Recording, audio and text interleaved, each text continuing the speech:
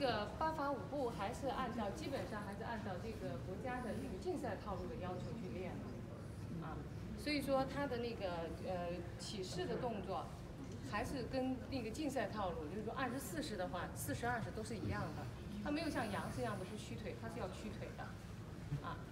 So uh, a couple things to understand. This is just like the requirements for the regular competition Tai Chi forms. So if you notice, as the hand raises, must also sink your knees as the hands come down. 呃，捧的时候与胸同高，Okay. 不管是左手还是右手。off movement must be about the height of your shoulder and chest. 另外一个手呢，放在胯前，不是胯不是胯平，也不是胯后，胯前，waist, just above it. 然后到捋的时候，不管是左手捋还是右手捋啊，都是斜捋。什么叫斜捋呢？也就是说，你的手的人人的胳膊是圆的，而不是方的，所以说绝对不能够我把手平平的这么放，对吗？要斜一点。这斜捋啊，捋的时候是斜的。但是呢，因为我们这个内容呢，前面是站桩的姿势在练，所以说站桩的姿势练的时候呢，不允许你的腰甩得特别大，看到了啊？嗯， Right, so it's important to remember you're doing this in a meditation posture. So since you're doing it in that posture, you cannot overturn your waist. So the waist should not go too far. Okay? About part way, again, about 45 degrees is the maximum. 呃，如果你又加步行的话，你可以腰转，但是呢，你没有步行的情况下，就是以你的膝盖为标准，就是说你你站桩的时候，你是膝盖不能乱动的。那我在做这个练习的时候，不管你的腰转到多大，以这儿为标准，就你不能说我转，这就错了。Okay, so this is incorrect. If the knees deform, okay, that's wrong. The knees must remain in front. The only thing that can turn is your waist. However far your waist can turn, that's as far as you can go. So of course for each of you it may be a little bit different, but you cannot go too far. 所以说基本上做到侧面就可以了。对，就要收手，不管是左侧、右侧都是一样的。 Okay. Doesn't matter whether it's right or left press, it's the same. The important thing about um, turning your knees too far, you can cause knee damage, okay? So please don't do that.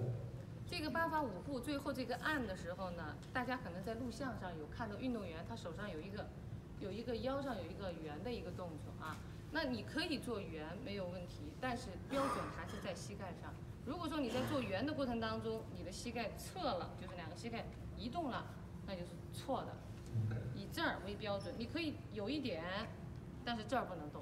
Okay, so she says actually doing the push, okay, the way she taught it to you is pull down, push down, and then press upward. She said you can turn slightly, but again the rule is the same.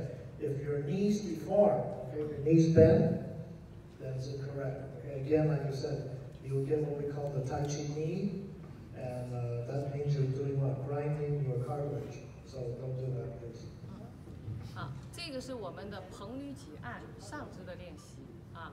下面踩列肘靠， 踩两边的，不管是哪边的踩，都是抓住对方的手往回拽，明白吗？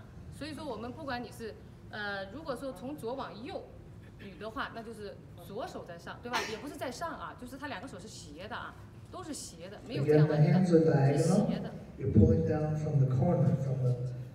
这样抓。对，抓的意思。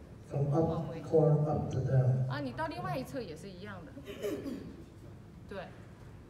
但是到哪里呢？就到你的腰胯这里就为止了，不要跑到后面去，啊，就到这儿，对，抓，就这个意思，啊哎 pulling，踩咧，踩跟咧在城市里头体现的比较多，阳市里头少一些，嗯。Yeah, split uh, is very common in Chen style, as we use it for joint locking. In Yang style is not quite as common, but the usage is similar. Oh, yeah. 你是要什么？哦，咧的动作，对，咧的这种动作。Okay, this is split. 对，那么咧的这种动作在城市里头用的比较，已经讲过了，对吧？讲啊，已经已经翻译过比较多一点，在杨氏里头稍微的要少一点，没有那么多啊。那么在做这个动作，记住一定是首先第一个是斜的，两边都是斜的 so pull down is diagonal. 啊。第二个要注意的是手呢，一定是到自己的左侧或者是右侧的胯旁就够了，不要跑到这儿来了。Okay, the hand should Ah. not pass your uh, body. when you reach your hip, you should stop. 嗯。So don't go past that point. 咧的动作也是一样的，就咧到你的身前，And when you're doing split, it should be right in the center of your body. 对，就咧到身前，啊，哎，不要过度咧到这个方向来，因为站在这儿的时候，你只要一过度，他的膝盖就变了，Yeah. 啊，都是以这儿为标标准啊，因为你咧到前侧的时候，你的腰其实已经动了，但是不能再往这边动，嗯嗯，就这些地方要注意啊，嗯，呃，然后再就是走动性的，走动性的前进和后退，还有两边的这个侧步，前进后退的时候呢，进步的时候大家应该很清楚，就是我们呃野马分鬃、搂膝奥步的一些练习，但是不是传统的练法，嗯 Yeah, she said that um, we're step forward using the grasping the bird's tail movements. We've separated them out to practice each of the individual parts. Uh, this is not the traditional way in which we learn it, but for the purpose of this form, we've taken it apart so that you can learn and practice each of the individual components. Because normally you practice them all together. 它是有一个微微的回坐，在摆脚，而传统呢是实体转脚，所以是这个地方是要要区别开来的，啊，这地方要注意啊， 就是我们一定要稍微有一点回坐，然后再前坐，不要实体转脚。Right. Make sure that you turn your foot and leg. The weight is still somewhat forward, so that you again you don't put pressure on your knee. 好，那么退的时候呢，是你跟着它一起退；捋的时候啊，捋捋的时候呢，就只是手，不要变全了，跟踩不一样啊。捋捋完了以后呢，它每一个退的时候都是退步，移重心，翘脚，然后收脚，退步，移重心，翘 So 脚。as you step back, the toe steps backward, touches the ground. You shift your weight to the back, lift the front foot. Okay. 啊，两边侧步，就是两边的时候，侧步的时候，挤的动作啊，它都是前脚落，然后发力 Right. 啊。但是呢，有的人练的时候，他可能挤的时候，他有时候也不发力啊。录像上的，但是也有人是这样的，他只是微有这么一个挤的意思，并没有完全是挤出去，因为他挤的动作更多的用的是杨式的比较多一点啊。然后到后面这个按的时候，腰胯是要转过来的，也就是说我们.嗯不能够这样上步啊，要怎样上步？转过来，Right. 对 Turn，first. 上关节要转过来，When your body faces in that direction, then you push forward. 根部 It's a follow step. The back foot, the heel is like off the ground. Your weight is on the front leg, not the back leg. 嗯，这个根部呢，呃，因为我没有参与这个八法五步的教学的创编，它这个根部我认为应该是武式太极拳的根部，而不是孙氏太极拳的根部。但是孙氏的根部跟的更多一点，孙不孙氏是应该跟到这儿来，它是半步跟，武士式太极拳是在斜后方。所以说，因为我不知道创编者他们是不是应该是武士，但是这个根部呢，记住一定是脚的斜后方。Okay, 斜后方 so the follow step, she said the back foot is slightly behind 这个 the 位置 front. 清楚 Okay. 啊，推出去，然后每一个只要是往回两边侧的动作，它都有转脚的动作，也就是说不是实体转，不是啊，都是落脚移重心扣脚转。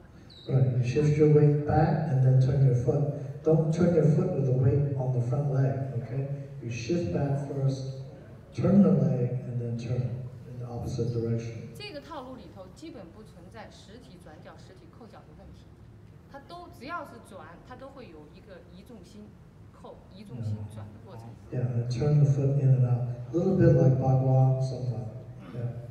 啊，这边也是一样的，也是要身体转过来。So in doing this, make sure the body faces forward first before you begin to 下一个 push. 也是要把脚落下来，落下来，然后再扣，啊，再扣。呃，包那那个发劲，你那个你那个劲路呢是横进呢？横的，是横进，对，横的，就就是侧面的，对，侧面的对，侧面的。但是你身体不能横啊，身体不能这样，还是中定。哎，对，身体还是要转 Right, 过来的，when you 啊，身体要转过来。release the energy, your body has to be facing in the same direction. And your body can't be facing sideways when you're pushing, okay?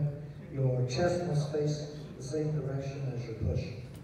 踩、别上步啊，这个上步呢有一点不一样了啊，而这个上步呢，它就不再是我们看到的呃揽雀尾前面那个捧的那个上步，弓步的上步了，它变成了一个摆脚的一个动作，摆脚的一个动作。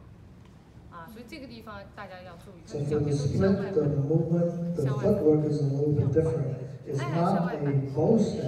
Eh, like a So cross I- step almost. 对，然后后面这两个动作就是很明显是城市的动作啊，走跟靠这两个动作啊，取自于这两个。